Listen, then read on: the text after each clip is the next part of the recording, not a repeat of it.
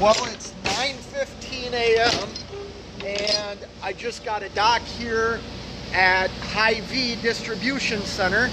Um, so obviously I'm opening my doors. I always have trouble with that one. I'll have to jump up there and get my load bars. Product still looks good. So yeah, they're getting me into a dock 19, or 19, 15 minutes after my scheduled appointment. Um, I'm gonna jump up in the truck now and go grab my load bars. Well, I got the load bars out, doors open, tandems are slid all the way to the rear. Um, now I'm just backing into the dock. And here at this Hy-Vee, you watch the light. Once the light turns green, your paperwork will be in the back of the trailer and you are free to leave. So, that's funny. The light just went red, even though I wasn't in the dock. There we go. We're backed in. Now I just wait to get unloaded and then on to my next. I have two deliveries today. One right now and then I have another one scheduled for, I believe it's 5.30 p.m in Cedar Falls, Iowa, which is about three hours away from where I currently am.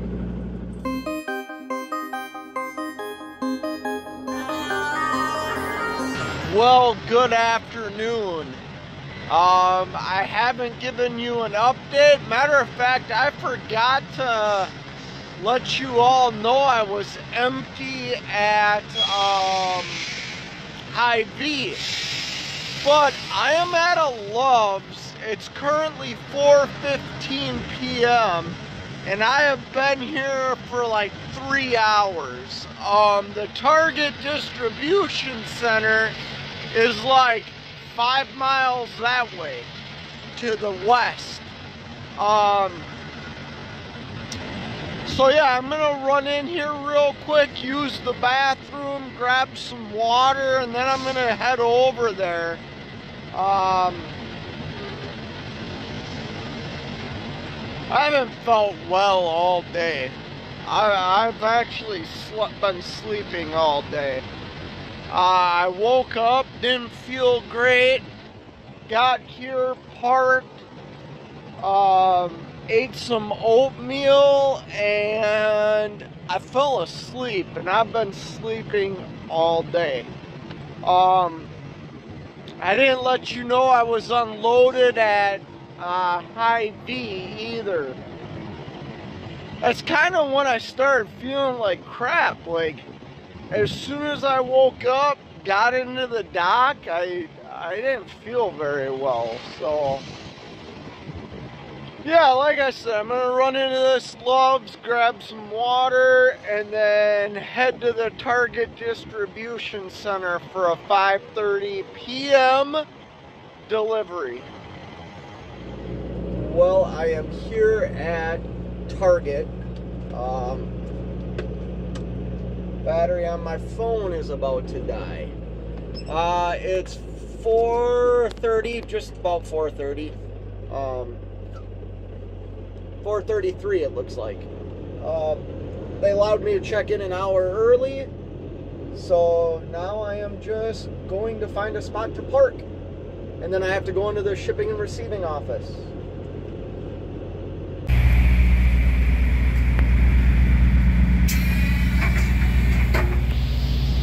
Well, I just got a phone call to back into door 502. So now I need to slide my tandems and take the padlock off. I do not open my doors at this Target. They do it from the inside. So I just need to slide my tandems right there to the rear of the trailer and get back into the door. Well, now it's time to slide the tandems. Um, shut up. This truck there's times where I put it into gear and it just like takes off. And I don't like that because I don't like slamming the tandems into the bar that you know stops them from going all the way off the trailer and the bar that goes that stops them from going all the way forward. Um, I still this truck's got some weird things to it. Um, especially backing up. Like you have to be very gentle on this throttle or you're going to f- just crash into the dock. There we go. In the dock. And now we play the waiting game still. Um, I believe there's four pallets coming here, so it's uh, 6:15, so that's what 45 minutes after my scheduled appointment. So, yeah. Now I just wait to get unloaded. Well, I've been sitting in that dock for like two and a half hours now.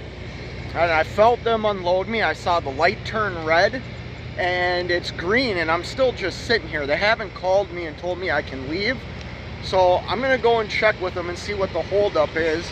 I gotta be very careful here though because I know the customer that I am delivering for has direct contact with this Target distribution center. So I need to be very professional when I do this because I know if I'm not, it's gonna get back to the customers. So I'm gonna go check in right now or check to see what's going on. I really don't know what to say here. Um, it's 9.30 at night. I am finally unloaded here at Target. Um, absolutely ridiculous. They got four pallets and I've been here since like 4.30, 4.45. I had a 5.30 appointment. Um, but I'm gonna open my doors, make sure my load bars are in here and make sure that they received everything uh, because I've delivered here before and they haven't taken everything off the trailer. So I'm gonna jump in the trailer right now and make sure it's good. Well, they did take all their product um, and my load bars are in there, but I gotta figure out what I'm gonna do. They don't allow any type of laying over here, but I'm out of hours. They they ran my clock out. Um, I am. I can leave in like an hour and a half. So I'm gonna have to just back back up to the dock and act like I didn't know they unloaded me or something. I don't know what I'm gonna do. So,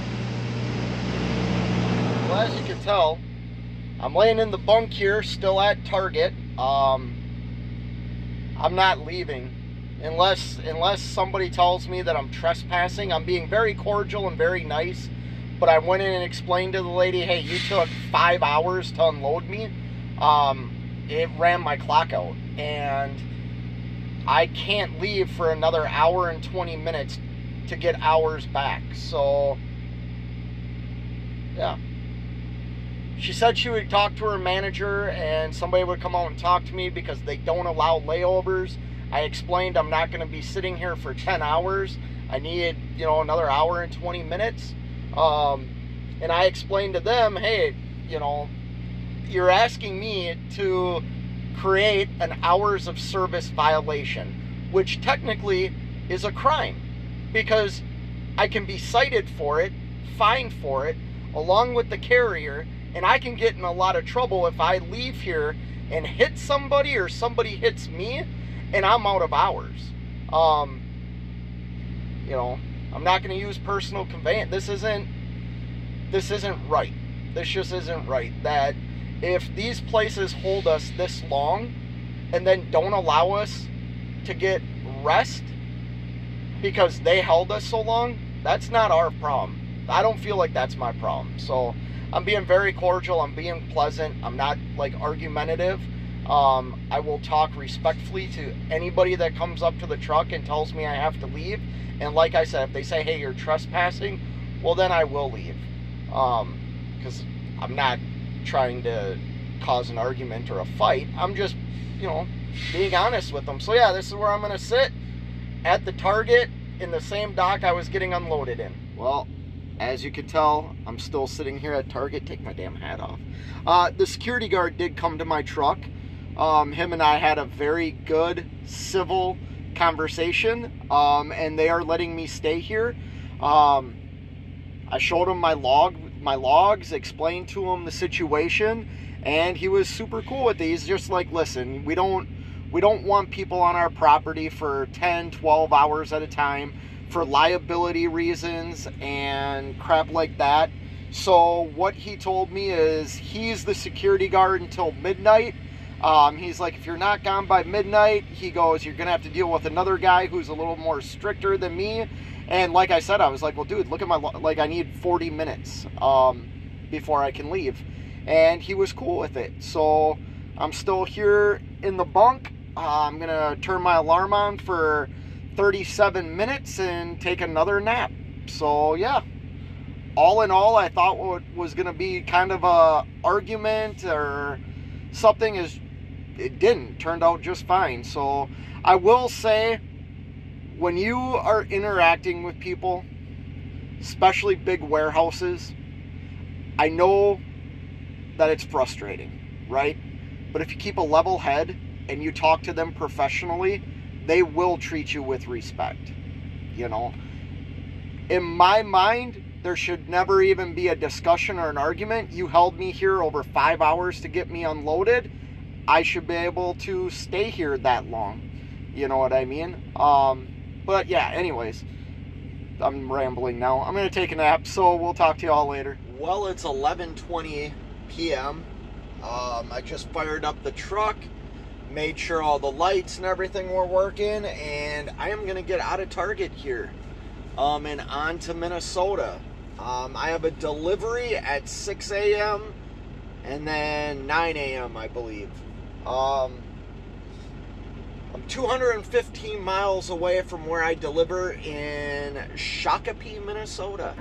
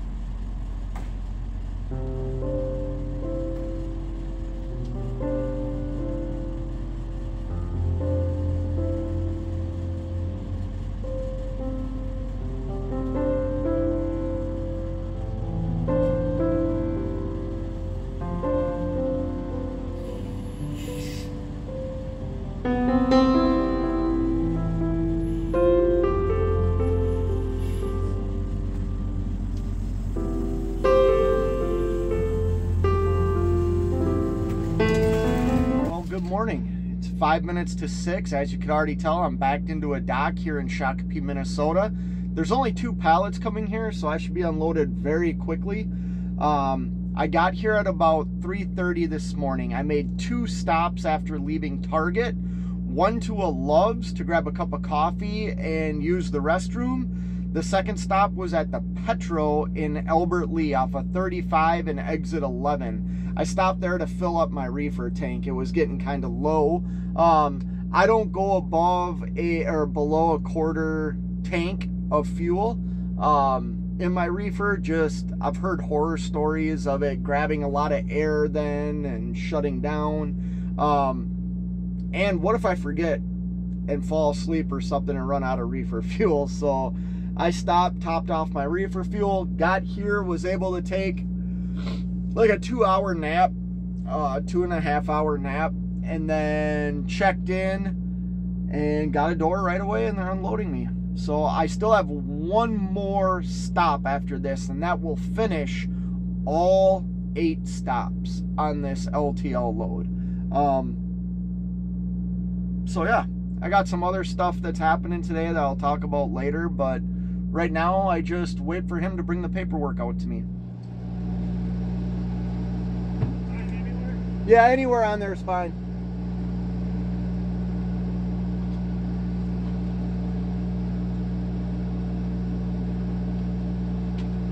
Thank you. Good day. Appreciate it.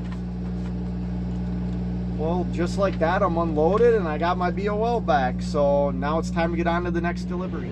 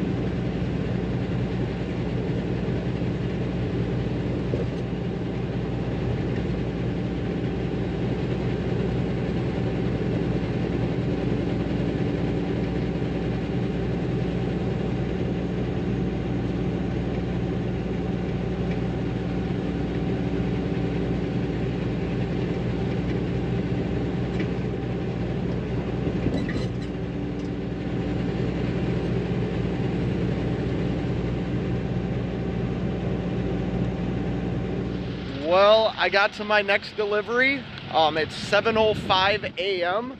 I have a 9 o'clock appointment. Um, so I'm going to walk in here real quick and check in and maybe I can get a door early. Um, looks like there's already one truck backing into the door. But uh, yeah, see if checking in early helps today.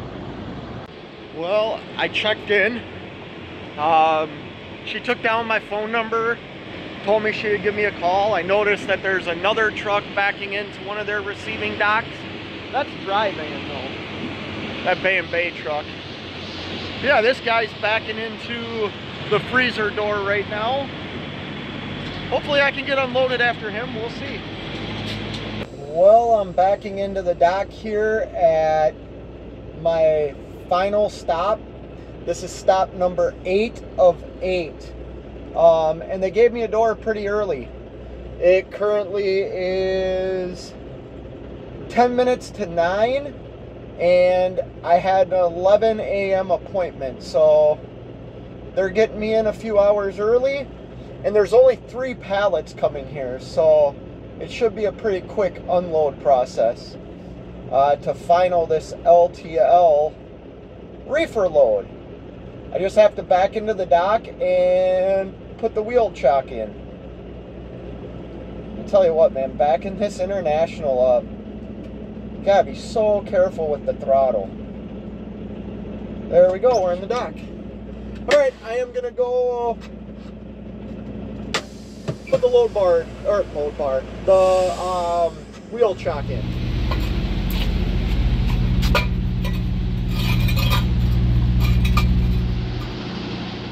Not gonna lie, I'm glad to be done with this uh, LTL reefer freight load.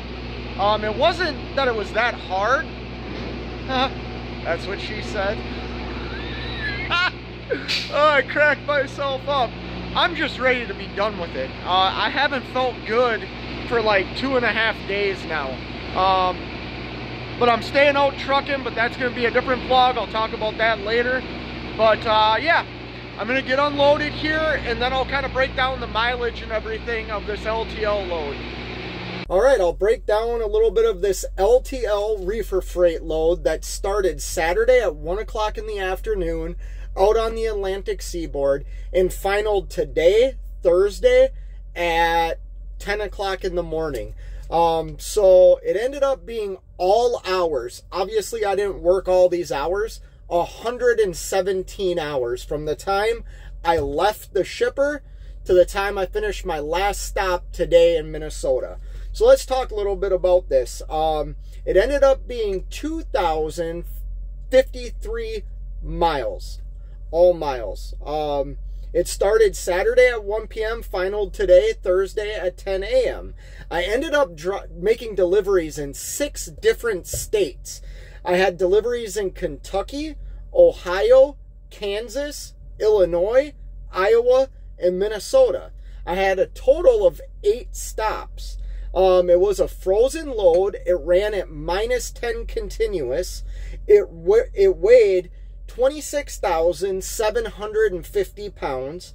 I got paid $3.01 per mile on 2,053 miles.